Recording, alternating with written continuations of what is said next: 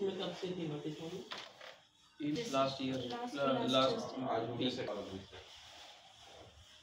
इससे पहले यहाँ कहाँ कहाँ का आधार मिला? यहाँ पर डर्मेटोलॉजिस्ट को दिखाया था अमृता हॉस्पिटल हमें तो लगा स्किन की प्रॉब्लम हो रही है स्वेलिंग आ गई है कुछ स्किन में कुछ काट गया कुछ क्या हुआ हो। सकता है। हुआ था उसके बाद वो स्प्रेड कर दिया बाकी में तो बाकी पेशेंट्स में भी इतनी जल्दी ये होता है क्या? इसके केसेस अलग अलग इम्यूनिटी सिस्टम होती है हर किसी की उसके बेसिस पे होता है हर हर किसी का केस अलग होता है। किसी के साथ एक जैसी चीज़ नहीं होती आप देखोगे तो उनको थोड़ा लेट मालूम चला या जो उसका ट्रीटमेंट शुरू हुआ वो इतना स्लो है कि जब तक बाकी की और चीज़ें हुई तब तक वो उसको रिकवर नहीं कर पाए।